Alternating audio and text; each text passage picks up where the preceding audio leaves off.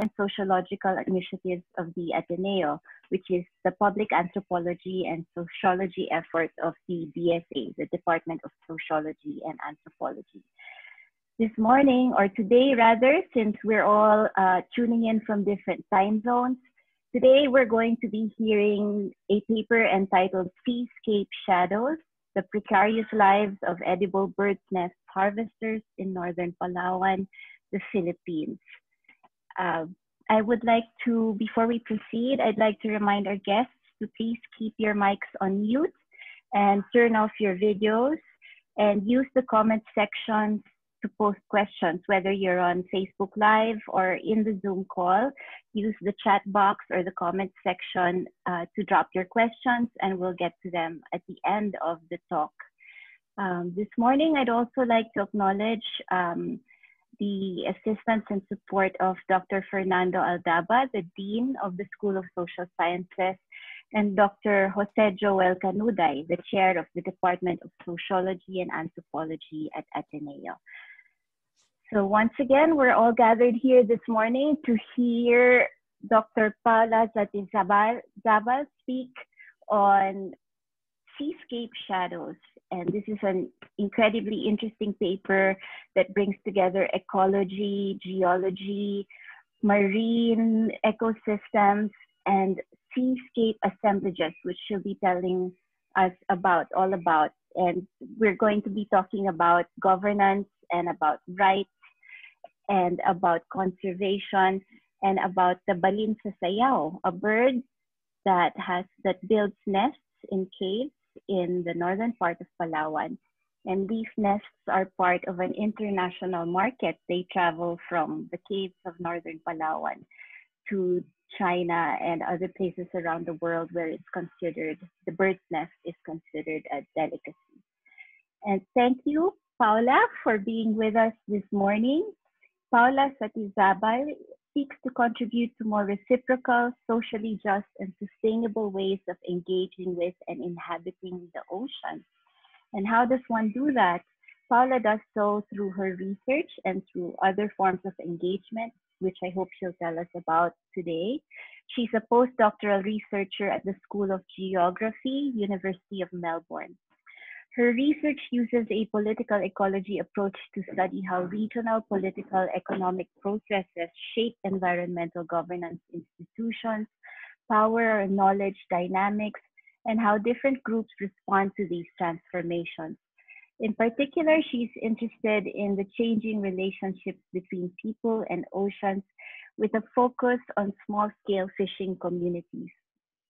Her work has examined social environmental conflicts and their intersections with coastal and marine governance interventions in Colombia and in the Philippines. Welcome, Paula. Thank you for joining us today. And um, I would like to acknowledge her co-authors are with us as well. Um, Dr. Ellie Gibbs from the University of the Philippines and Wolfram Dressler from the University of Melbourne, Michael Fabinyi from the University of Technology, Sydney, and Jesse Vargas from De La Salle University. I hope that's everyone and I didn't leave anybody out.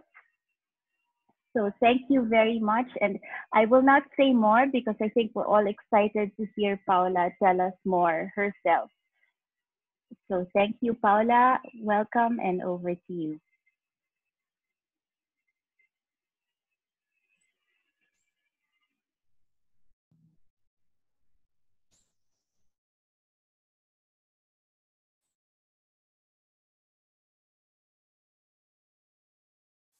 Can you hear me? Yeah. Good morning to all of you. Magandang umaga po. I would like to start by acknowledging the difficult times we're living and the even impacts that this pandemic has within and beyond academic spaces. Thank you for joining this seminar. I'm thrilled to be sharing this space with you today. Thank you, Padma, also for this introduction. I'd like to thank SUGAT, the Department of Sociology, Anthropology, and Anthropological and Sociological Initiatives of the Ateneo I'd also like to thank the organizers of this conference, and it's a major effort to bring this space online. Uh, thank you for opening space for us to share our work. Um, I'm also well, very grateful to Dr. Padmapani Perez for her time and generosity moderating this plenary. Um, so I'm a postdoctoral researcher at the School of Geography, but I'm also a Colombian political ecologist. I focus my research on critically analyzing what and who is excluded from coastal and marine governance interventions and why. I started doing research in the Philippines since 2018 as part of a larger project that is exploring the emergence and governance of the blue economy in maritime Asia Pacific. A project that has been funded by the Australian Research Council and that is led by uh, Michael Fabinyi and Wolfram Dressler the work I'll be presenting today has done, as Padma introduced, is a collaboration that involves researchers here in Australia and in the Philippines. I'd like to thank all of my co-authors, Wolfram, Ellie, Jesse, Mike, for their just the, their contributions and their support through this process. As a foreigner doing research in the Philippines, their knowledge and guidance has been central in the analysis I'll be presenting today. I would also like to thank Mercedes Limsa uh, for her invaluable guidance and assistance during our, our fieldwork in Palawan. So I would, before I start, I would like to acknowledge that I'm joining you from the seascapes of the Yalukit Willam people from the Boonwurrung, a place also known as the Port Melbourne in Australia. I'd like to pay my respects to the elders past and present, highlighting that sovereignty was never ceded and that this was and continues to be Aboriginal country. I would also like to extend my respect to the Tandolan and Tagbanwa indigenous and Cuyonones harvesters, known as Busyador in northern Palawan, who are the main focus of this presentation. Both the Yalukit Willam people and Busyador have remained at the shadows of dominant imaginaries of coastal and marine spaces. We hope that this work contributes to expose the central roles that these and many other coastal dwellers play in understanding coastal realities and making sense of the past, present, and future of seascapes. I have divided this talk, this talk into five main sections. First, I will start to introduce our theoretical framework, defining what we mean by frontier imaginaries of Palawan Island and arguing that the coherence produced by these imaginaries is obscuring more than it reveals. Then I will explain how we're understanding seascapes and our use of shadows as a metaphor to move beyond frontier imaginaries and highlight the concealed social dimensions of these seascapes. Third, I will describe our research objectives and methodology. Following this, I will focus on our research findings. I will use seascapes as an analytical lens to explore the political economy of edible bird nest industry in northern Palawan, exposing the hidden human and human dimensions of this industry. Finally, I will close with some, re some reflections and conclusion. So let me start with um, Frontier Imaginaries. For those of you who are not familiar with Palawan Island, it is an archipelagic province in the Philippines. North of Palawan encompasses island groups located between the Sulu and the South China Seas. Palawan has recurrently emerged in political and academic discourses as a frontier. You hear it as an ecological frontier, the fishbowl of the Philippines, the last frontier, and even the Amazon of the seas.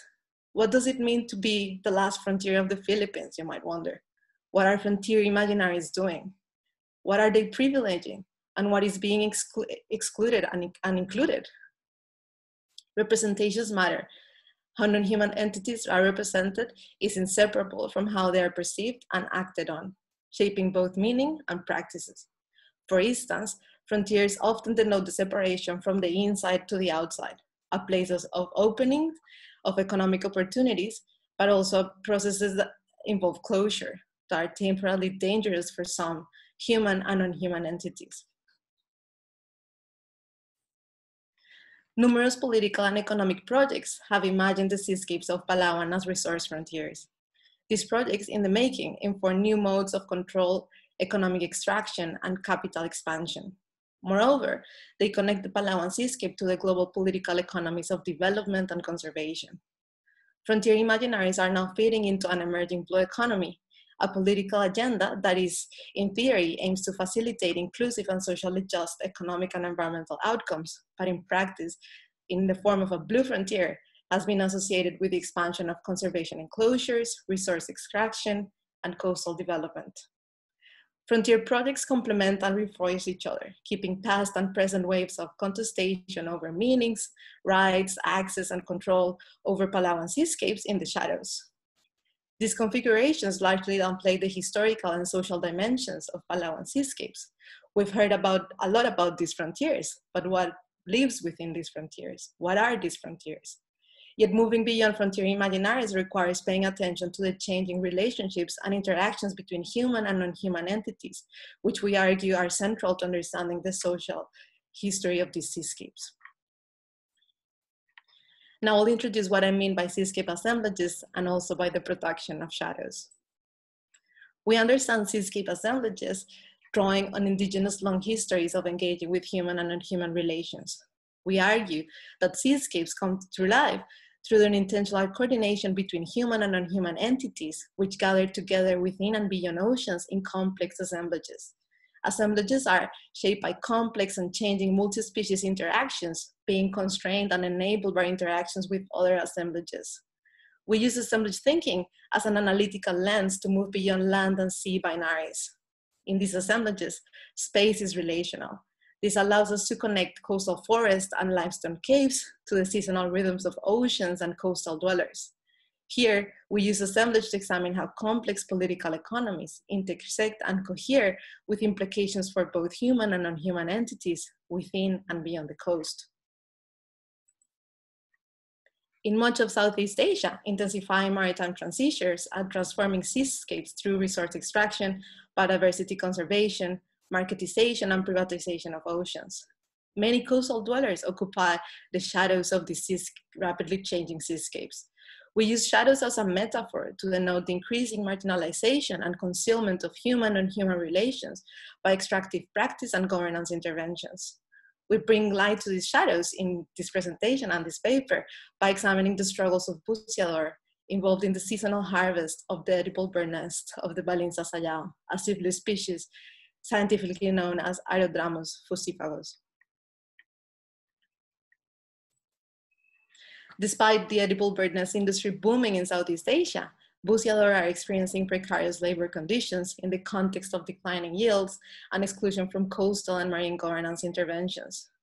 Their harvest and unfolds across sea, karst, caves, and forests, where the Balinsasayaw shape the movements of Busyador as they access complex networks of karst caves and holes searching for nests. From the harvest to processing and consumption, these nests enter commodity circuits that generate and transform their value over time and space. Consumption of this nest has long been associated with good health, virility, and social prestige in China and elsewhere in Asia. These nest's value and meaning shifts as they move from Karst Cave in northern Palawan to consumers in urban metropoles such as Hong Kong. However, the control over nest production and exchange relations reinforces highly uneven political economies that we will explore here. At the extractive end, the seasonal harvest involves intensified exploitation and low value generation with considerable risk as Busyador followed the Balinsasayaw in search for nests. Farther along the commodity circuit, these nests are also known as the caviar of the East, one of the most expensive animal products in the globe, reaching prices as high as $3,000 per kilogram. So the changing political economies of nest production and exchange bring together Busyador and their families, coastal karst caves, forest, and airport duty-free shops, Chinatowns, and restaurants. I will now take you through our objectives and methodology. Our analysis seeks to decenter the notion of frontier by exploring complex human and human dimensions of seascapes. We examine the political economy of edible nest industry, focusing on the changing relations between Busyador and Balinsasayaw in the seascapes of Palawan. This analysis is informed by fieldwork we conducted in Manila and Palawan from July and August 2018. We conducted semi-structured interviews and engaged in informal conversations, secondary data and historical policy analysis. A total of 75 interviews were conducted with Busyador, coastal dwellers, and local traders, state and non-state actors involved in the management of the nest, harvest, and coastal governance. The interviews concerned the history and cultural meaning of the harvest, the trade system, regulatory practices, and commodification processes. Participants discuss the harvest institutional framework, cave tenure and governance interventions, and the impacts from conservation and tourism. However, please note that our findings are constrained by the strategies of secrecy and concealment that surround trading relationships and concerns about the legality and control over the nest and karst caves, as I'll explore later. I'll now present our research findings. In exploring the less visible complex human and human dimensions of seascapes, we argued that the value and meaning of the nest changes and unfolds through the interactions of three interconnected seascape assemblages. These assemblages, we use them as analytical lens to explore and highlight the complexity of these interactions that are changing and are dynamic through time and space. First, I will explore a nest assemblage that encompasses the social histories of Balinsasayaw and the harvest. Then I'll explore two broader assemblages that together enact and give coherence to the Ripple Nest political economy. The capital assemblages, which gather private and state actors seeking to harness value from the harvest, turning the nest into commodities by dividing them into class types, which give them coherence and to the emergence of a concession and licensing systems and the governance assemblages centered on the relationship between the nest trade and coastal governance, development, and biodiversity conservation. We anchor these seascapes as cultural and lived and embodied, home to coastal people and other beings. Uh, As sites of struggle, seascapes assemblages are always in the making, or will always partial and precarious. Central to our analysis of seascape assemblages is how political economy intersect with and shape human and human relations, in northern Palawan seascapes, these political economies gather busyador lives and livelihood struggles, the production and exchange of nests, scale regulation, and the movements of birds and capital. They also involve material and liquid processes between land and sea that forge spectacular karst formations and human and human relations. Here, karst limestone formations are one of the solid manifestations of, of oceans that emerge from the sedimentation of marine and freshwater skeletal debris, shells, bones, reef buildup, and the evaporation of droplets of water compacted by the pressure of movement of water through geological times. So even you're seeing a rock, these rocks are the remnants of a living ocean. The northern Palawan's mainland coast consists of spectacular karst formations shaped by the movement of water and wind from the Sulu and, and the South China Sea, giving life to islands and cave systems that shape coastline, fishing grounds, and lowland forests. Along the coast, livelihood opportunities follow the rhythms of lunar cycles, water, and monsoons. Main livelihood activities include fishing, copra farming, livestock rearing, tree cropping, and a range of water of wage labor opportunities. The Tandolan and Tagbanwa indigenous people are the peoples of these seascapes and have harvested and traded nests since pre-Hispanic periods. Let me start with the nest or lurai assemblage. In this seascape, Balinsasayaw roost in large groups inside caves. Groups fly out of the roosting caves after dawn, foraging for insects in coastal lowland forests, returning to their caves before sunset.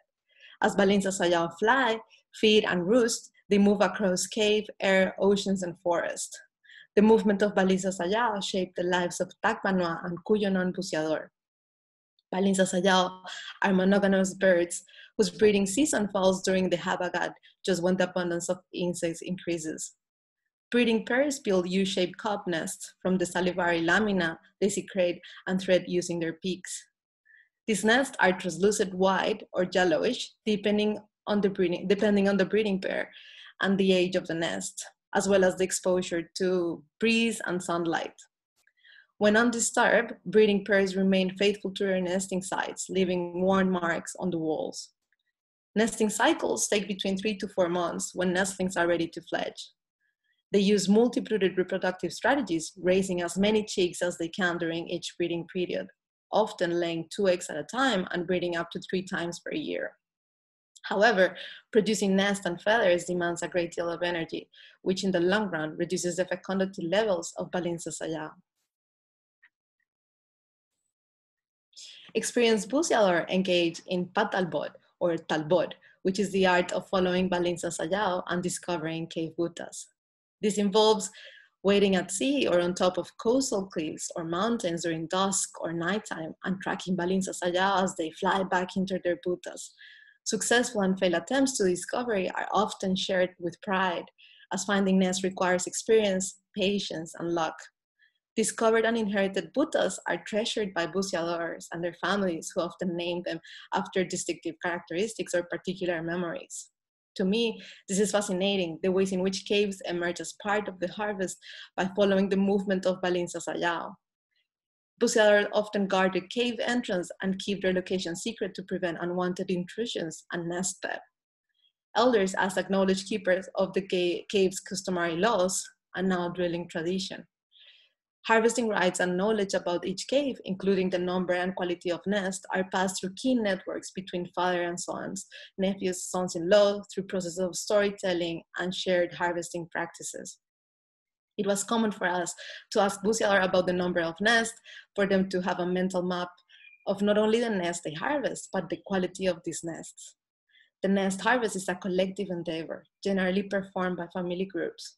However, busyador primarily harvest their buttas on their own. Knowledge is produced and transmitted through experienced busyador to trusted newcomers within groups. Busyadors also depend, spend time recollecting and mapping out the volumetric extent of their harvest where families and groups delineate and use territorial markets to claim exclusive rights over parts of cave systems. The art of harvesting nests requires conquering the fear of darkness, as you would imagine being inside these caves, and hate, Busyador are predominantly men with small, lean bodies and are trained by their families at a young age. As children, they first harvest cave for children that are small and have narrow buttas or holes inaccessible to adults and learn to become skilled rock climbers and harvesters. As noted by a busyador who started harvesting when he was 12, when I was new in doing the harvest, it was very hard for me and I was scared those who taught me told me not to be afraid, and I try my best to overcome my fear and learn. It's just a matter of practice and being mindful of what we do. In the past, the Tagbanwa Busyador burn incense and perform ritual offerings known as sakda, giving chicken or pork to the Diwata in the coastal forest where the Balinsasayaw eat. Tagbanwa and Cuyonon traditional healers and busyador often did rituals to ask permission to enter the caves, fulfill their harvest, and plead for their safety during their climb. These offerings highlight the relational understanding of the Balinsasayaw that connect human and non-human entities, but also forest and coastal caves over time. The harvest is also a gender and highly risk practice. The sole female busyador we interviewed performed the harvest in the 60s as a child, Starting as a six-year-old, she stopped at the age of 10 because she could no longer enter the small butta suitable for children and she could not enter the adult butta scantily clad. Rather than harvest, women clean nests by hand and some also play an active role in the processes and trading of nests, a labor pattern that partly aligns with pre-existing gender divisions of labor in northern Palawan.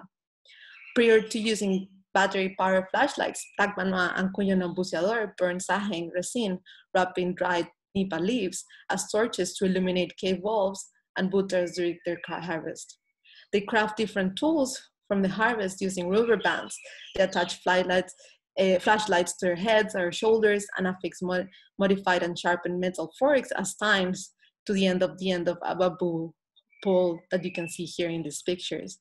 Known as sunki, the tines are used to carefully pry the nest from the cave walls and hold them, preventing them from falling or touching other surfaces. While some busyador prefer to climb barefoot, some use modified sandals wrapped with rubber to protect their feet from the sharp karst rocks. Moreover, busyador most conceal their presence from Balinsasayaw to prevent these birds from flying away from their roosting caves. This involves restricting the use of artificial fragrances, for example, soap, shampoo, perfume, or food inside the caves. Traditionally, incense was burned to remove any human scent trace, the cave should also be visited during the daytime when Balinsasayaw are feeding outside the caves. Some of these practices are rarely practiced today, which exposes the intensifying harvest and the changing relationship within this multi-species assemblage. As highlighted by this busyador, we are the owners of a cave. We do the almost care and diligence in picking nests and in harvesting the to the rocks we're very careful in the breeding area. Nest must not be touched or uh, pressed by our hands. Must not have hands must not have sweat because birds are very sensitive. Busyador climb without aids up cave walls or using an elaborate system of climbing ropes or bamboo ladders and poles.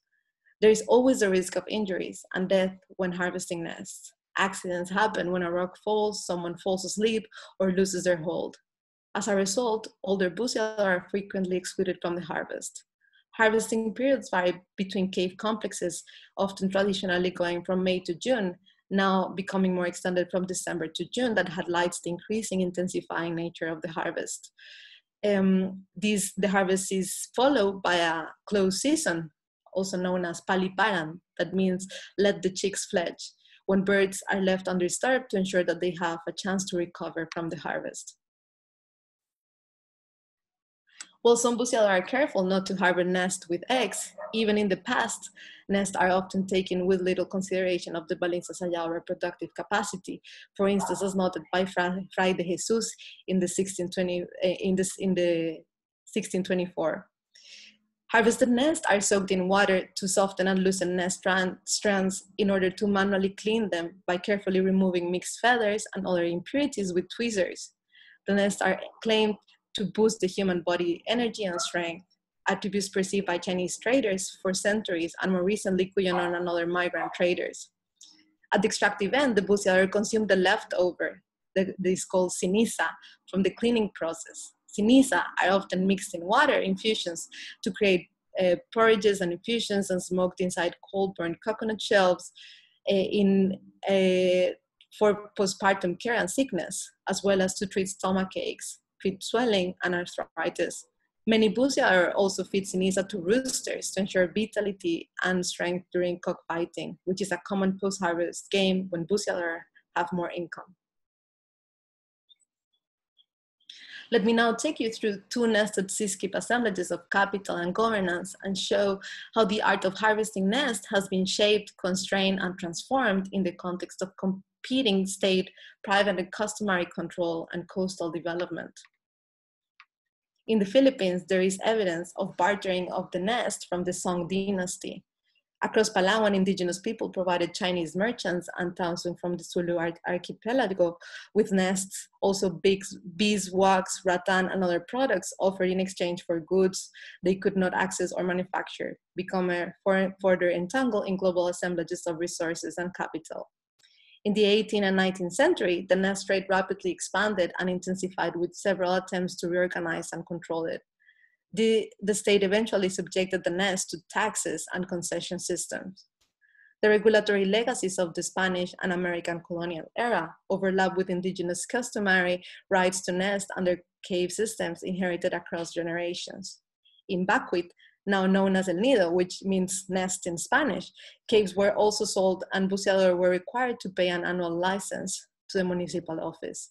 However, in, 19, uh, in, in 1919, in the context of booming industry, an ordinance from the Provincial Board of Palawan gave exclusive rights to harvest uh, for the harvest of nest to the highest bidder, known as a concessionaire, which were primarily Chinese traders and middle-class families, giving them control over the trade and labor of busyador. In 1927, municipal districts were given the authority to enforce license taxes for the harvest. Later, we'll see that a closed season was established, determining that it was illegal to harvest the trade and trade nest without licenses, which started to enforce limits and regulations controlling the, the, the, the harvest. Busyador had to sell their harvest to concessionaires who managed the harvest, covering Busyador food and guard expenses. These patron-client relations enmeshed Busyador into economic dependencies and debt with concessionaires. All of this sparked an influx of groups of thieves, which we can question if there's thieves, locally known as sindicato. Primarily Busyadors who were expelled from the harvest as accused of looting or whose relationship with the concessionaire turned sour for entering the caves Eh, and selling the nest to other people outside the concession. In Taytay, the concessionaire bidding process was concealed from the public until 1986. One concessionaire was given the exclusive privilege to harvest and trade nests. In contrast, in Bacuit, in Nido, the bidding process was highly competitive and recognized cave owners higher wage laborers, which were indeed the traditional busyador. The concessionaire would clean, weight, and prepare nests for trading, excluding women from the cleaning process and paying busyador for their harvest depending on the quality of the nest. Those whiter, clearer nests have higher values. Nest traders joined efforts in 1932 and built a corporation, uh, creating a store in Manila where they sold the nest. They're creating a monopoly of the industry, which eliminating the competition for the concession system, and that uh, stopped the bidding in 1937. The Nest capital assemblages have historically intersected with other capitalist assemblages seeking to expand opportunities for capital accumulation in northern Palawan. In the 1940s, Cuyonon migrants came to these seascapes working commercial logging and fisheries. In time, they also began harvesting and buying caves from Tagbanwa Busyador. In some areas, original busyador work as wage laborers for those relatively wealthier busyador who were paying licenses fees. Most coastal dwellers interviewed uh, were Cuyonon and argued that their caves were discovered by their ancestors. The erasure of Tagbanwa history of the harvest exposes the less visible processes of exclusion. From 1940s to 1990s, migration to Palawan exceeded 4% per annum, with most seeking safety and new livelihood opportunities in the northern part of the island. In 1949, the Thais municipal waters, including river mouth and tributaries, were leased by the local government to the San Diego Fisheries Enterprises for five years. This granted the, the company exclusive right to operate fishing fish corrals, uh, corrals and fish ponds. Thus, small-scale fishers were dispossessed from these fishing grounds and coastal livelihood, under coastal livelihoods, turning into the harvest as sindicato. The, to counter the growing theft, in the 1960s, the Municipal Council of El Nido prohibited the harvest outside the main harvesting period. The term busyador could only be used to denote the legal harvesters who had registered their caves at the Treasury Office. These busyador were classified in relation to the number of caves and forced to pay a real property tax fee assigned a tax declaration certificate. New caves were listed in the Treasury Office and publicly, published and registered if no claims by other busyadores were made. It became illegal to bring un unregistered companions with 100 meters of the beach and cliffs surrounding the registered caves, which completely neglects the collective endeavor of these of the harvest. All buyers were required to keep a record of the nest provided by busyador. Those violating these rules were fined or even punished with imprisonment. These management rules further constrained and transformed the nest harvest within these seascapes, facilitating the dispossession of the caves from Tagbanwa Busyador in remote areas. In the 1970s, the caves in northern Palawan were again reorganized by a bidding system, reinserted to increase municipal level profits, as the value of the nest fell after a ban by Maoist China on the consumption of luxury goods, including Nest. The busyador who could not afford to pay the cave tax payments continued to work as laborers for the registered cave owners, ultimately losing control over their caves. Indeed, caves were auctioned to the highest bidders, as middle-class busyador were displaced by prominent capitalists generally financed by Chinese traders, just as new coastal developments began encroaching upon karst formations. The grabbing of caves was highly contested and led to local uprisings that stopped the bidding process in Cabugao in Coron Island. However, the bidding system persisted in the cave systems where the harvest was highly lucrative, particularly in El Nido and Talitay, and often involved high-profile politicians bidding from as far as Manila. In other areas, individual permit holders performed the harvest and traded the nest locally. In 1987, a fixed close season was established. However, in the, in the 1980s, as wealth and consumption increased in China, the nest trading price rose and production and volumes expanded approximately 10% per year. Nests soon traveled from northern Palawan to the northern outside of the country illegally, as well as from Puerto Princesa and Manila uh, to Malaysia, Indonesia, and Thailand, both legally and illegally. From there, the nest trade reached market, markets in Singapore, Hong Kong, elsewhere in China, Taiwan, and even India. In 2015, a bowl of edible bird nest in Hong Kong cost between 30 to $100. Edible bird nest from northern Palawan are highly valued due to the quality and the color and texture of this nest. Nest classification systems have been enforced by concessionaires and traders, a system that has changed through time. For instance, in 2018, nests were classified in four categories with prices ranging from 30 to 180 pesos per gram. These values vary in time and space. Several busyador claim that the weighting and classification process is a highly corrupt process where the concessionaire or caretaker often classifies nests in lower classes and weight. For many, this devaluation is upsetting, considering, as I previously mentioned, that busyadores have a mental map of the quality and the number of nests inside their caves. This knowledge comes from Busyador and Balinsasayaw being faithful to their caves and nesting sites, as well as the consistency dis displayed in the quality of the nest built by Balinsasayaw breeding pairs. Occasionally, Busyador prefer to sell their harvest illegally to local traders paying higher prices, having to hide their nests from guards and concessionaires, while also facing the risk of getting caught and denied rights over their caves. As one Busyador explains, Busyador engage in illegal harvest because of the very small income they have. The price is very cheap. That's why Busyador will go home with debts. Many are syndicating the nests. In the context of rising prices, declining harvest position hired guards as central to the protection of nests. However, some of these guards have also ended up joining the sindicato or helping Busyador high nests for more lucrative sales later on which is a common practice in these intricate cave systems. All this has increased the violence and the risk experienced by busyador during the harvest, considering that concessionaires and their caretakers now how many nests and are know how many nests are available in each cave. Although the existence of sindicato is not new, the presence of high-powered guns has increased the dangers experienced by busyador during the harvest. To hide, the sindicato bring food and stay inside the cave for days. We even heard stories of Sindicato group moving across different cave systems and along the coast. As described by a busyador, we saw them inside the caves, armed and hiding, sometimes then.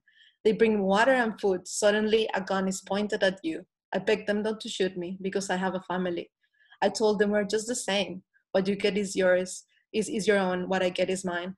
I told them further that I do not mind if they steal, that they are not stealing from me, but from the concessionaire adding more complexity to these seascape assemblages, there's an, a governance assemblage that have tried to profit from the harvest now in the name of environmental protection. The centralization processes in the 90s led to the creation of the Palawan Council for Sustainable Development in 1992, the PCSD. In 2001, the Cave Protection Act and the Wildlife Protection Act enforced a new management scheme for caves and wildlife, including Balinsasayaw, separating the management of caves from these seascapes and granting PCSD control over the harvest in 2003, which challenged the local government concession bidding system. Not surprisingly, this was resisted by the Taytay government, who gave permission to start the harvest season in 2004 without permission from PCSD. In response, the PCSD, the Philippine National Police Criminal Investigation and the Detection Group, and the Philippine Navy raided Elephant Island in Taytay Bay and arrested between 71 and 78 Busyador, cave guards, and three police officers for the violation of the Cave Act. As a political strategy, the PCSD used the Cave Act to claim authority over the caves and profit from the harvest. As experienced by one Busyador, in his word, we did not know what was happening, that morning, while we were having coffee, a rubber boat loaded with two squads from the PCSD and the CIDG reached the cave complex. The soldiers jumped to the land with a megaphone, told us to drop down. We all dropped down to the floor. I was watching them. Some were crying, others were afraid. We were there perhaps for more than an hour. It was harassment. It was the first day of harvest. They took us directly to Rojas, and from there we were fetched the, by the Navy and transferred to Puerto Princesa City. There was no explanation. When we arrived, we were held in the barracks. The major processed our release. We were many, almost 78. As shown in this resolution, the PCSD secretary praised the raid as a splendid job for and in behalf of the council. The raid represents a breaking point, a violent encounter between Busyador, the municipal government, and provincial actors. Busyador were caught in between the ongoing power struggles between Taytay LGU and the PCSD that was likely further entangled in interfamily clan politics. In response, a memorandum of agreement for the joint management of the case was negotiated between PCSD and these LGUs in 2005. The agreement established that the revenue from the harvest should be directed to the protection, development, and management of cave resources. The LGU held 80% of the share and now PCSD 20%. This transition increased the number of permits, which included now the registration of caves, concession individual permits, transport, wildlife collection permits. The PCSD demanded the creation of a Busyador cooperative in Taytay, which managed the concession from 2006 to 2010 and was financed by a powerful trading, powerful trading family. The cooperative did not last long, once taken over by a concessionaire who was also financed by a local political family. In El Nido, the bidding increased 10% per year and was also financed by a powerful family. The roles of the LGU and PCSD have done little to protect the Balinsasayaw and ensure the sustainability of the harvest. As Kadigal, who did her master thesis on the nest harvest and now works for the PCSD highlighted, the role of state agencies start with the bidding process and ends upon the collection of the bid amount. One official noted that with current levels of overexploitation, the harvest will be gone in five years. By extension, the Cave and Wildlife Act have enforced a management of these caves as separated from oceans, coasts, and people. The limited understanding of the population dynamics of Balinsasayaw exposes how management has remained focused on profit, neglecting participation of Busyador in supporting the sustainability of the harvest and even research. The next political economies have given coherence to entanglement of capital and governance assemblages, which actively constrain and transform the art of harvesting nest and the lives of Busyador and Balinsasayaw via government regulations and trading relationships. These assemblages have enabled new actors, including migrant busyador, concessionaire, caretaker, sindicato, guards, LGUs, and PCSD to compete for access and control over the nests. Past and present attempts to organize the harvest violates the rights of Tagbanwa and Cuyonon Busyador in their shadows of these seascapes. Yet their presence is vividly imprinted in the walls past burning torches and saheng inside the caves. As one Busyador recollects, sometimes I've been to the caves that are not familiar with me, but I know that the elders went there because of the rising smoke that marks the rocks that could not be removed. It is burnt and sticks to the rocks. Some cave systems have the names of past and present Busyador inscribed in the walls, both as a personal signature and a territorial marker. One Tagbanwa woman showed with pride the names of her ancestor who harvested her nest dating back to 1938. The walls of the karst caves and the stories of Busyador hold the hidden history of the harvest. The intensifying nature of the harvest and the expansion of commercial agriculture and coastal tourism developed in the context of reinforcing capital and governance assemblages have deepened the marginalization of coastal dwellers in the shadows of these seascapes. Shadows obscure the connection between different places and beings with powerful social and material consequences. In these shadows, the political economy of nests circulates capital and governance interventions that accelerate exploitation and concentration of wealth in fewer hands, focusing, dramat focusing uh, creating, sorry, creating dramatic socio-natural changes. Here we argue that the dramatic decline and the abundance of Balinsasayaw is inseparable from the history of environmental degradation and the gradual dispossession of the Tagbanwa busyador from the seascapes of northern Palawan. Due to the sustained breeding system, the practice of paliparan, that is letting the birds fly, has stopped or reduced considerably concessionaires add pressure on busyadors to harvest as much as they can, including nests with chicks or eggs and smaller nests. As one busyador expressed, because there is a very low production, if we do not get the nest, they, the concessionaire, will be angry with us. Sometimes I pity the chicks, so I place them in the rocks where they can be safe. A new trading class, now known as Yankak or ballpen, denoting the small size, has emerged from these intensifying practices. Yankag includes small nets that are around seven days old and are bought, uh, bought between 8 to 40 pesos per gram. Sinisa, the, the leftovers that Busyador used to use, are now also being traded in some areas. In the urge to, to increase profits, concessionaires have also started hiring extras, individual initially banned from the concession for stealing, now hired to sweep the areas already harvested to ensure that no, left, no nest is left behind. They sell their harvest at higher prices than Busyador, This shift has contributed to a dramatic decline of the harvest, and like Sindicato extras are not associated with particular caves.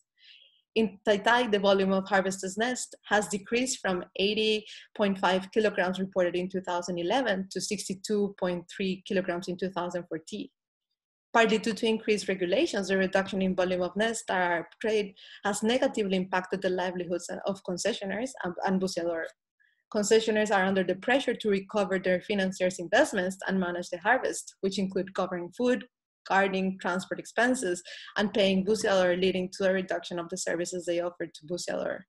One concessionaire appealed to the municipal LGU requesting a reduction in the lease fee, saying, I cannot afford it anymore. Actually, it is a violation of the contract. I cannot afford to pay the yearly eh, fee because of the declining production. Every year, I request to see a study of the system. Why is it declining? Until now, there is no action. Many busyadores have stopped paying registration fees on caves are no longer productive, subsequently losing their harvesting rights. At the same time, coastal developers have been granted permits to build tourism resorts along El Nido's coast and islands, while some busyadores have managed to negotiate with resort managers and guards to access their caves and access the nest, busyadores are forced to use less accessible and dangerous routes, routes uh, keeping themselves hidden from guards and tourist guests. As highlighted by a busyador, before the islands were bought, we were the ones guarding the place. But now that the islands have been sold, it is pro- uh, the harvest is prohibited here. We have another way in from the other side, but it's very difficult. There are many guards. The busyador complaints about this at the municipal often, often fall on deaf ears. The expansion of commercial agriculture and coastal tourism development has also contributed to degrade the habitat and survival of Balinza Sayao while reducing local access to caves. For example, the use of chemicals in paddy rice has limited Balinsasayaw food sources. Some busyador point to the pesticides killing a, a, great number of swiftlets inside the caves, as one noted. The birds are really less. I think it is because of the sprays and of insecticides in irrigated rice farms. Sometimes when we get into the caves, birds are already dead. That is why they're gradually diminishing little by little. In the past decade, northern Palawan has also experienced more rainfall during Amihan. Busyador argue that the cave walls are more humid, which lowers the quality of the nest, which become yellowish or end, end up falling. Additional to a growing number of tourists have increased the abundance of snakes and cockroaches predating of the nest as well.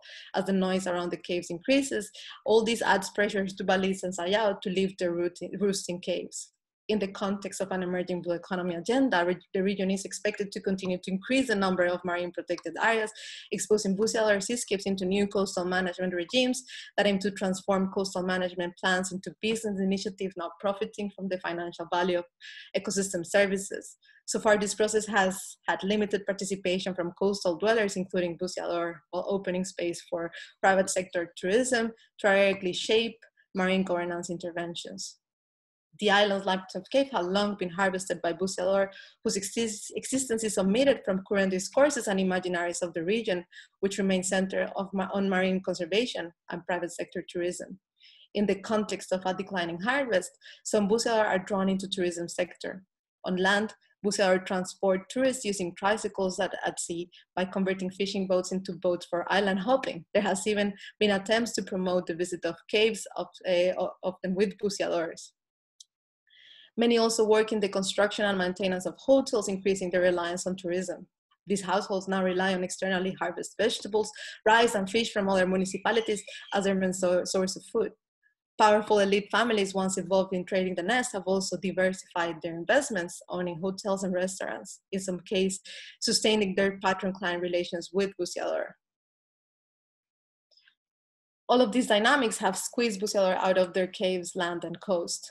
The nest trade has boomed as the farming of Balinsasayaw expands along the region using playback, calls to allure individuals into constructed farmhouses. These farming practices have not, uh, are not popular in the province of Palawan. Farm nests, however, are now illegally entering Palawan from Mindanao, Malaysia, and Indonesia and being rebranded as highly quality nests from El Nido the reduction of government income from wild and legally harvested nests has prompted the PCSD to start discussing their management practices in 2017. there's a list of considerations that they have developed, which include considering the promotion of farming of Balinsasayaw as a way to support coastal dwellers. Yet even within its ruin, the harvest continues, largely concealed and precariously sustained. The precarity experienced by Busyador is inseparable from the ways in which space, resources, and people are imagined and represented within this seascape assemblage. It is likely that former Busyador are currently facing very limited livelihood opportunities in the context of the pandemic will go back to harvesting nests, as recently highlighted by Palawan News. What remains unclear is how a just and sustainable harvest could be attained, considering the past and present political economies of the harvest. Now let me just close with some reflections and conclusion. So intensifying maritime political economies are reorganized in northern Palawan seascape assemblages through resource extraction, development, and conservation with powerful consequences for human and non-human entities. Over time, Palawan seascapes have co-produced human and human relations that work within and through marine and coastline spaces. Balinsasayaw and Busyador are nested within these different assemblages. A nest assemblages that is nourished uh, in harvesting practices and rituals, tenure and social relations that until recently have been carried through generations of Tacbanoan Cuyonon harvesters. As the Cuyonon harvesters are displaced, displaced Tagbanwa access to ancestral caves, nest political economies, conservation, and development threaten to dismantle the nourishing elements of this harvest. Taken together, these elements are difficult to fully control and extinguish. Balinsasayaw are moving, and because of the uh, challenges of knowing where they are and where, where they nest, it is very difficult for the harvest to stop or to be completely depleted but yet the struggles continue. The lives of Busyador and Balinsasayaw challenge the divide between coast and marine spaces and the categorization of oceans as isolated management entities. As we have seen in this presentation, we open this frontier and you'll see the complexity of human and human relationships are shaping all different interactions and relationship between humans and oceans and coast but also we see uh, relationships of power and abuse, displacement and dispossession that are important to expose and to continue uh, analyzing. Moreover, it is important to consider the volatile context of tourist industries, seeing, for instance, the current COVID-19 pandemic. In the context of fading indigenous history, the nest industry resembles predatory relations with extremely unequal distribution of wealth between consumers, traders, and producers. Um, through these practices, Busyador uh, are trying to find different alternatives, going some going now maybe back to, to the harvest, but still their voices continues to be absent from coastal marine governance interventions and agendas. I would like to close just by saying that only when past and present injustices in these seascapes are exposed will debates about possible solutions emerge to ensure that Busyador can continue to harvest or even farm uh, Balinsasayaw uh, nest in ways that facilitate social and economic empowerment and environmental sustainability. Thank you for listening.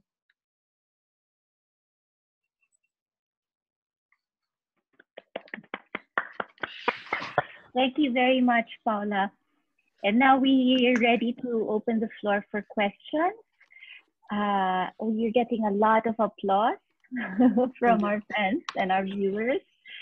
Well deserved, of course. So we have one question now, and I'd like to invite everyone to please um, drop your questions in the chat box if you're in the Zoom room, or um, also you can drop questions in the comments section if you're on Facebook. All right, so we have one question already, Paula. Have there been instances wherein indigenous laws were the ones that impacted the livelihood of the Busyador?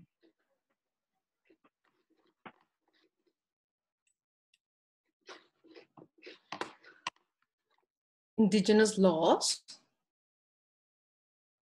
Yes, I think the question perhaps refers to whether there was and were there any customary laws or traditions that regulated maybe the harvesting of the nest?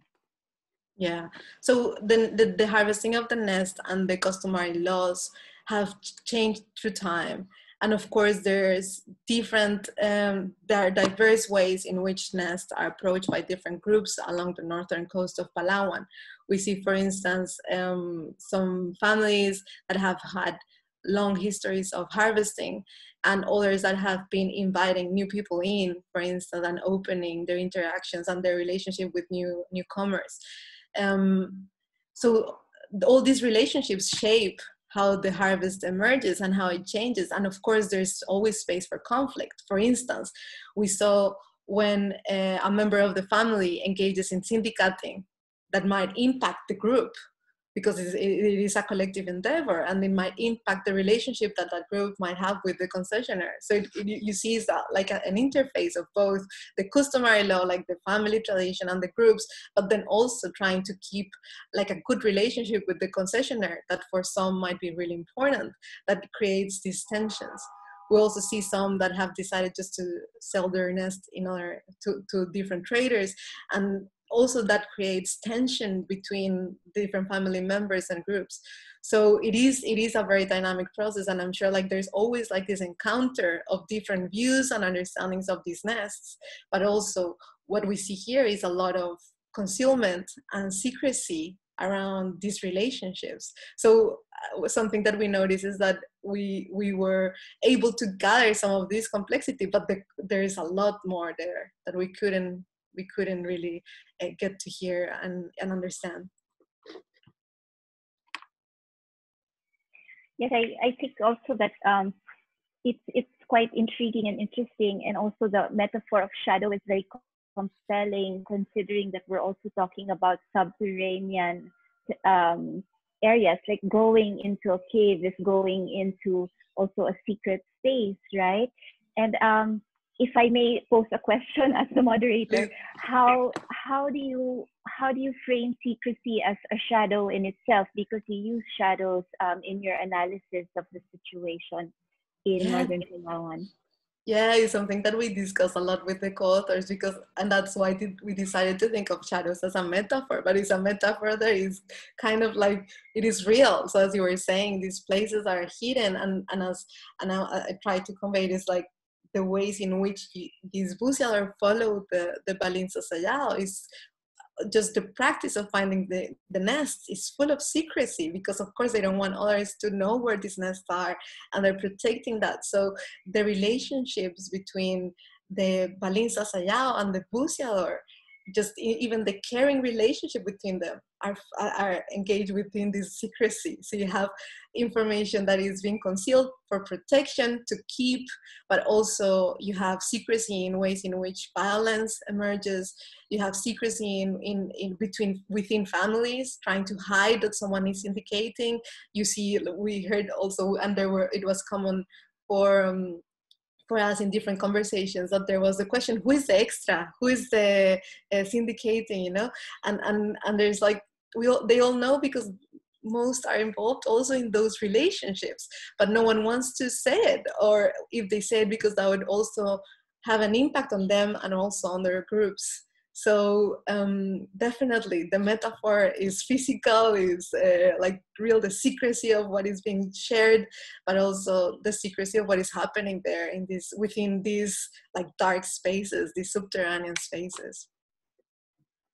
Paula, I latched on to what you said about a caring relationship between the Busyador and the Balinsa Sayao. Could you say a little bit more about that care?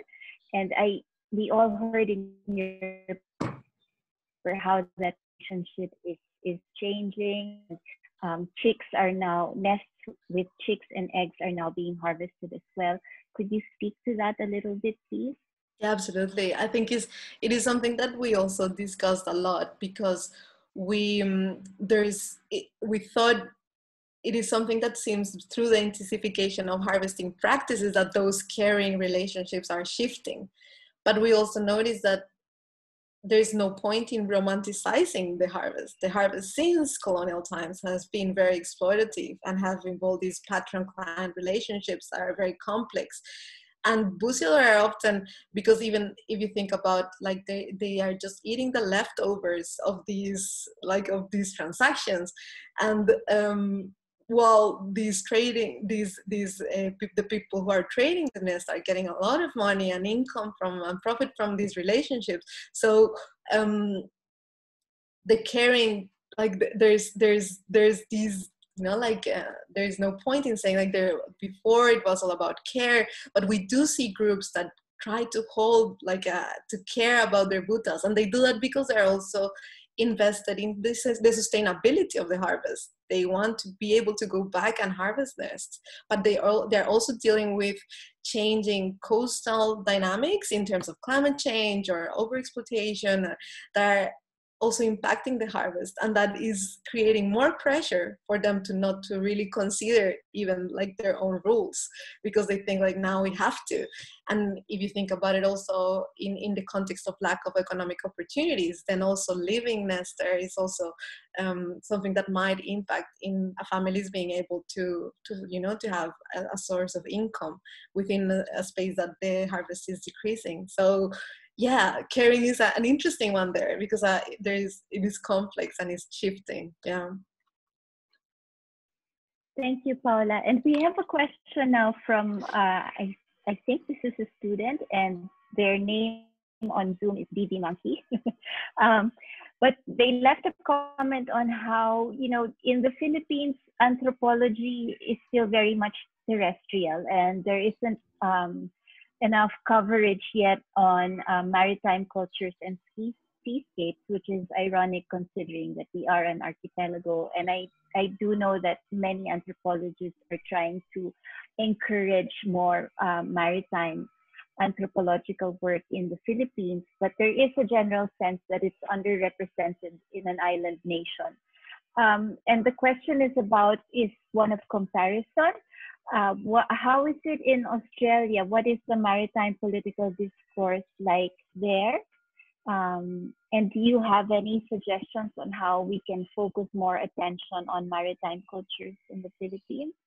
Yeah, definitely. That's a very important question. And I think many of us who work in this space of social marine relationships and histories struggle with that like this uh, separation which i think is is not only in the philippines but it's also well there because as you were saying it's an archipelagic nation so it's kind of like it's there you're in the coast you're a maritime nation you could say. But that has not really been acknowledged within that the study of, of coastal dynamics. I think it's interesting there's like these um, i see that also in colombia like that the colonial history of separating land from oceans. That has been a question that many geographers and political ecologists and critical anthropologists have been trying to kind of like to push, you know, critical thinking to embracing oceans, not only as as important, but also as connected to the land.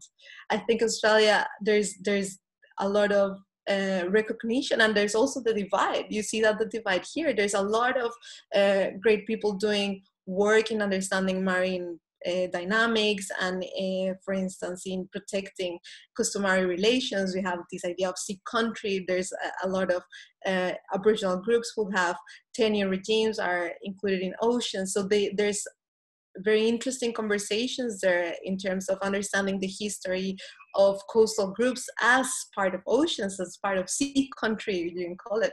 But there's still, I think, the divide is shared there's still a lot of questions and a lot of space and i hope for the student like it would be fantastic if you want to keep like contributing to that and thinking about how to bring you know many of the questions that we have about um, society even about trade. Many of the things we have are come to us through oceans through the movement and transport of things through oceans through our relationship with oceans through dynamics within oceans are shaping uh, you know, like our environments, even our forests, as we see with Balinsasayaw, are forcing us, like the Balinsasayaw forces us to go beyond that because she, they move, so you have to follow them and you cannot position them as ocean or, or terrestrial. But I think there's an opportunity there and there's a lot still to, to discover, to learn from, from this, from bringing that into the conversation. Thank you. And now we have a question from Naima um, her question is, so she says great presentation and powerful photos. And her question is, who are the quote unquote losers within the community itself? And how about the younger generation? Do they see themselves doing what their parents are doing or do they have mm. different aspirations? So this is Naima from the School of Geography at the University of Melbourne. Thank you. Yes, well, that's that's uh, such an important question. I think there's not a like, of course, it's an heterogeneous group of people, but and I don't know if like saying losers or winners here because I think we're all losing like there's i don't know if there's anyone that is actually maybe the people who have won from exploiting the resource might you might frame them as winners but they have done it in such an unsustainable way that there's um, and through exploit exploitation and destruction of not only um, the harvest but also balinsasayaw ecologies that uh, yeah. So i think definitely the, the losers are marginal coastal dwellers in northern Palawan, definitely Tandulan and Tagbanwa indigenous who are not like now even um, more in the margins of how we understand these relationships. And now Cuyonon are also being put there. And I think um, what we see here, like if, for instance, if farming comes to the picture if that's how the PCSD is envisioning how to, you know, like how to continue this relationship with the nests within Palawan, considering the, the decline. I fear that the the um, everyone from the all the coastal dwellers will be losing and that the, the profit will be just in the hands of fewer fewer hands that's what i think we've been seeing through this process is that the, how um, the capital that is being produced through these relationships is getting like more constrained and more into particular families that will for sure then control the farming industry and and and, and profit from from from the Balinsasayaw.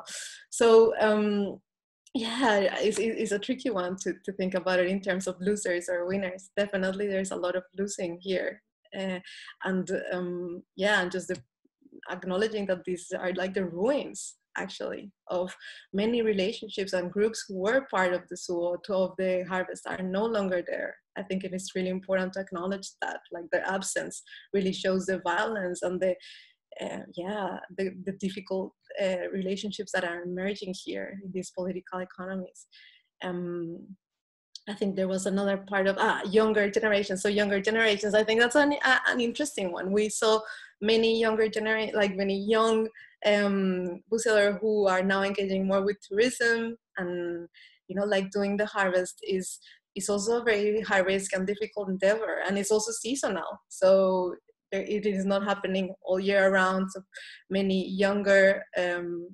are now moving to tourism who knows what will happen now with the pandemic and what what this mean also for these younger generations. Definitely there's space there for for more studies and to yeah to get to hear more of those stories. I agree, Paula. I think really we need to um, do more research on what the next generations are going to do especially given the climate crisis and there's uh, so much that's going to be on their hands and in their lives. There's so much that's going to be changing drastically and um, we tend to look a lot to what's happening in the present in our research as anthropologists and we also look to tradition um, traditionally that's what we do. But i think this question from naima also redirects our attention to um, something we need to pay more attention to, I think, is what's happening with the next generation. What are they looking to? What are their aspirations? And um, what do they have to face um, in the coming years? So thank you for that question, Naima, and thank you for your thoughtful answer, Paula. We have a question from Facebook from Janina Castro. Have any of the tourism industries or any local organizations accommodated the needs of the traditional nest collectors? There's definitely relationships that emerge that are more um, that the outcome is is not as negative you could say like there's relationships for instance between um, because many of these hotel owners were also involved in the trading in the past there's also some uh, you know, agreements on how to come in, when to do the harvest. Busyador are also engaging with these uh, families working for their hotels as you know are involved in the tourism industry they are uh, supporting the transport of tourists in the oceans and coast so we see that it is like it is complex because of course there there there are also part of the tourism industry. Busyadores have become, and their families have become more and more engaged with tourism as part of how these coastal like relationships are shifting. And um, there's in many ways uh, these these uh, some of these uh traders, former traders are accommodating to, to acknowledge and to enable the harvest, but still within the constraints of what tourism needs. So that's what is, you know, like what that's what is important there. So tourists don't want to see uh, you know, busyadores. They, they, they, for instance, if you think about the imaginaries of people going to uh, El Nido and, and to these coastal sites of sea paradise and, you know, like these imaginaries of oceans. Actually, we have a, a student, Naomi, that is doing research on these imaginaries and it's just super interesting how they exclude people. People are not there to see coastal life and livelihoods happening. They want to see these beautiful beaches uh, that there's no one there. And of course these tourists like the owners of these hotels are protecting that.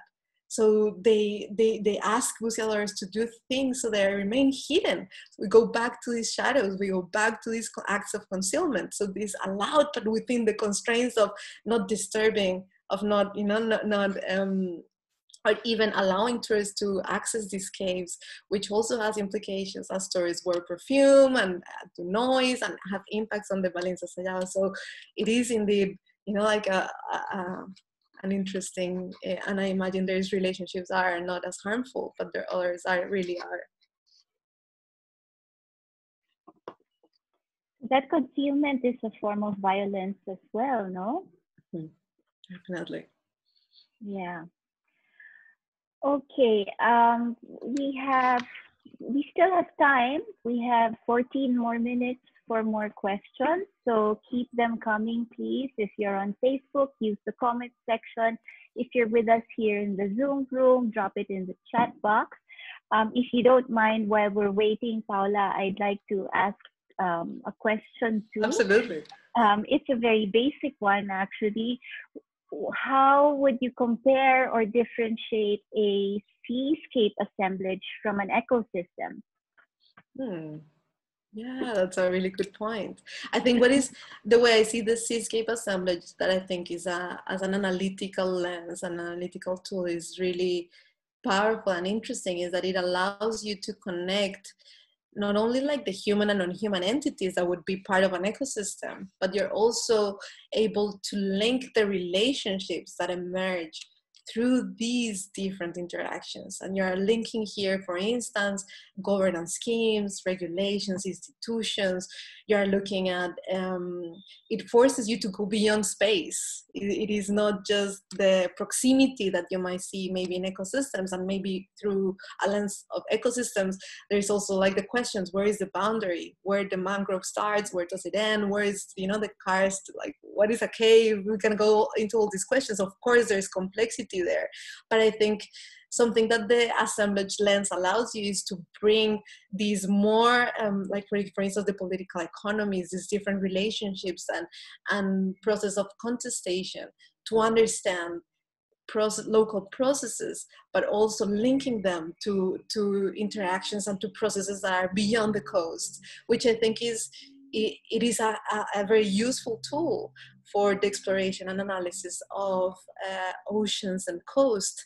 As we have heard like they they have been there's this framing that keeps them out like separated and is an assemblage thinking lens can help us bring them back to what we know to coastal lives to the city to trading to all these different relations well an ecosystem um, is more like a localized uh, assemblage yeah. of multi-species and interactions of course with humans but it's more about like that's those interactions like natural interactions or well also not so natural ones sometimes yeah right right and and as you were speaking i could see um, how for example an assemblage would include not just a karst cave but also a restaurant in hong kong for example serving edible birds nests um, which you wouldn't i think i'm not an ecologist but i think conventionally you wouldn't be looking at that restaurant in hong kong um, if you were studying the ecology or an ecosystem or the habitat, let's say, of um, Sellado. So it's very interesting how it brings so many the assemblage brings so many different elements together and it really enables you to draw relationships between them thank you for that mm. we have um, a follow-up question um, well not exactly a follow-up but another question from naima um, how you reflect to your data collection methods would you change or strengthen or tweak anything um, you may have some technical details on this as well on methodology.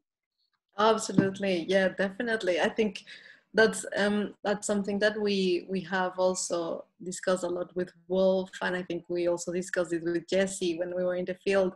For instance, I have to acknowledge that because I'm I'm a foreigner, I don't speak Cuyonon or Tagalog. So I was relying on translation, which from Jesse and from Ched, who were wonderful helping me navigate the space. But for me, it was the first time that I was doing research in a space where I didn't speak the language. And for me, that that um, that is something that I've been thinking a lot about. Like there's a lot that you miss, you know, a lot that is not there when you are putting that in in a place in a in if, for instance, we're here analyzing these interactions, these dynamics are very complex and often require understanding of culture, society, all these different relations. As, as a foreigner, that's that's something that is is very you know is is is, is important to acknowledge the like the obstacles that are faced as you as you do this for me something that uh, so we did semi-structured interviews which were very useful in um, having conversations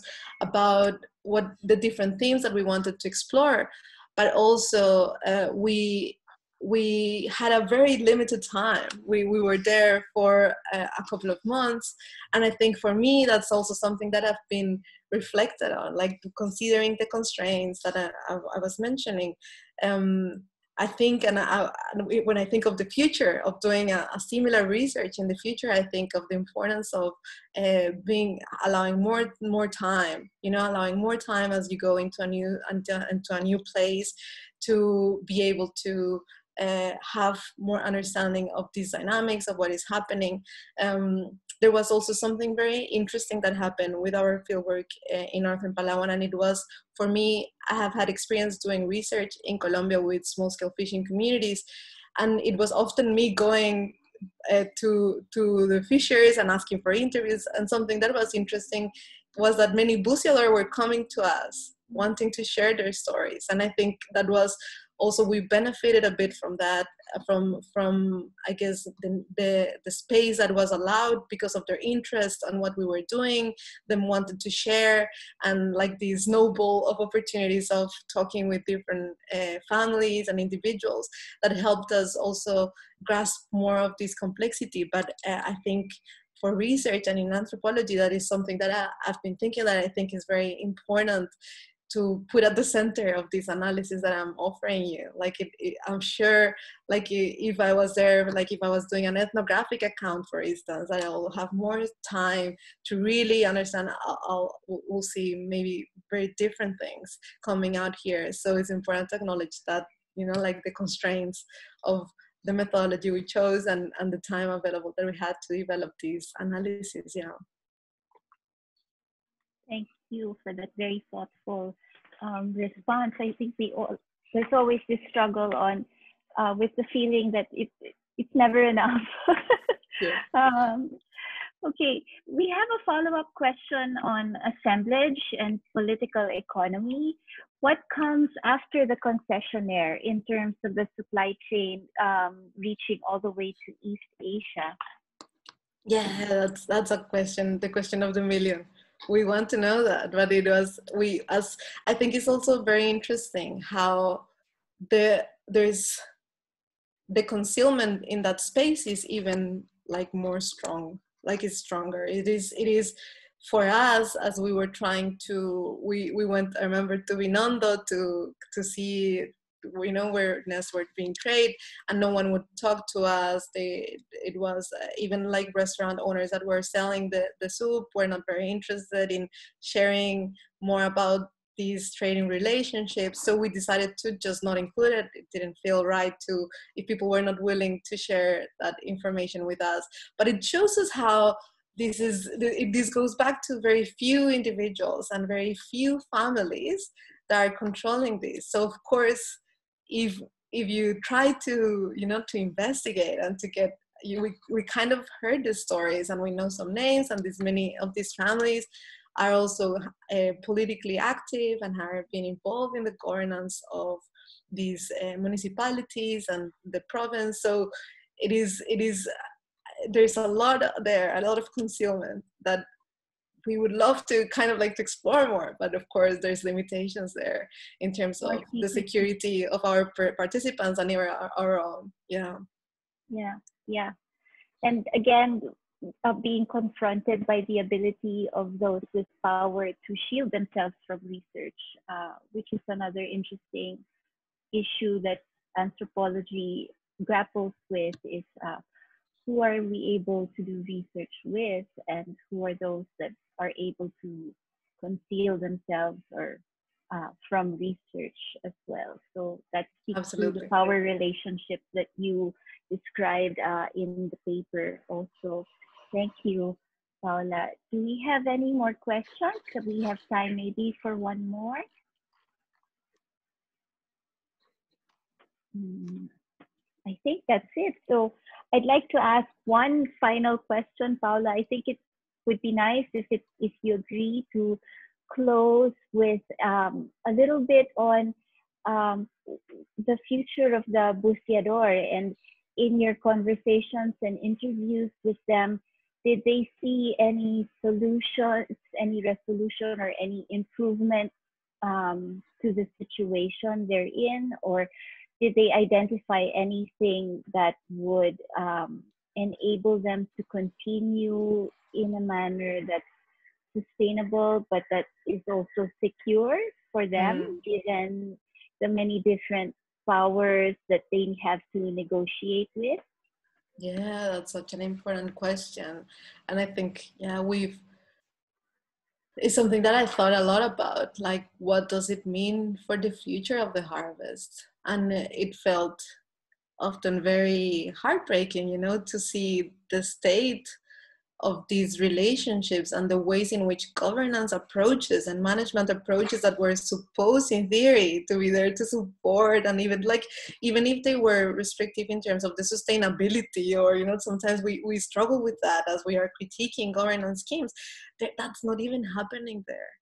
There is i think for if if a serious conversation about who is controlling the trade, about why our management schemes not working is central to seeing a way out here. I think mm-hmm.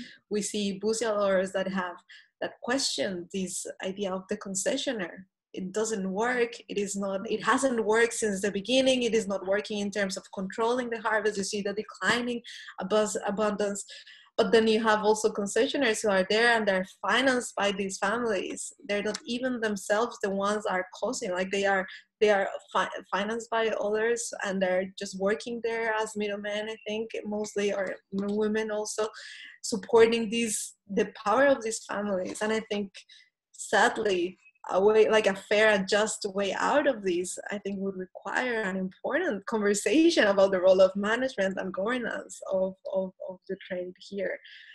But of course because of the acts of concealment and the secrecy that's something that is very um, that is that is it, it is a challenge. I would think of the future and think of also these busyadores now going back to the harvest considering what is happening now. And i think i hope uh, that there is an opportunity to for for PCSD to rethink those measurements and to because I, I believe that the, if the goal is sustainability and I hope um, recognizing that the separation that the Cave Act and that this Wildlife Act are bringing into how we see these spaces is actually harming these spaces even more. Uh, a space uh, giving Busyador a place in the conversation in the in the management decision making arenas would be central but i think also without acknowledging these power dimensions that would never really be you know like it would never translate to something more because the control still still is in the hands of few so it needs like governance it needs political will to to enable a space are just for busyadors. But yeah, um, yeah, sorry, I'm sorry, but I'm not yeah that hopeful. Yeah.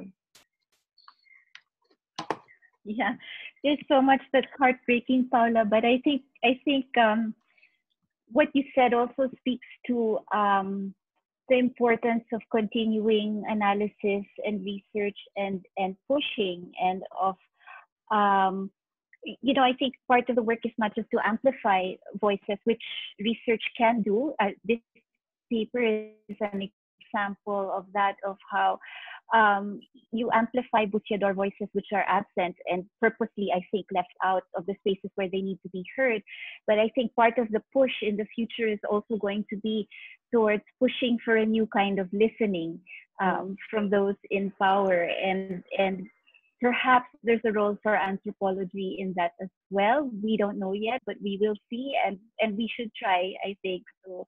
I enjoy and everyone here who's an anthropologist and who's interested in doing the kind of work that Paula has shared with us today, uh, to think about these things on on Paula's reflections on on voice and power and balance and and who is heard um, in what venues and how the listening happens so thank you so much, Paula. Thank you everyone for staying with us and for your questions and participating in this conversation.